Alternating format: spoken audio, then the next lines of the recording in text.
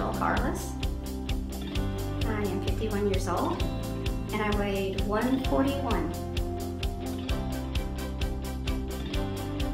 February 1st, 2016. I have tried other diets before and they just didn't work. So I thought I'd give this uh, a new shot.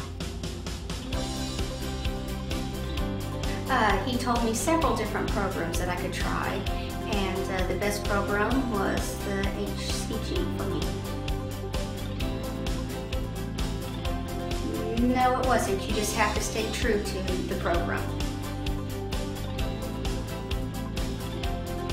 March 15th, 2016. I've lost uh, 21 pounds in six weeks. Yes, I have. Uh, losing weight and be able to wear normal clothes that I wore before.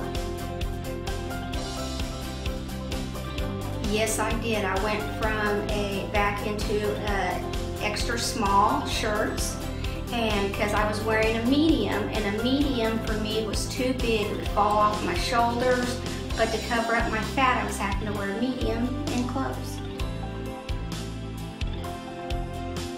I feel more energetic, I feel more alive, and I'm just really proud of myself. It gave me a lot of confidence. They were wonderful. They walked me through everything that I could do, how the program worked. If I had any questions, they were there 24-7 to answer any of my questions. Um, I seen them within about the first week.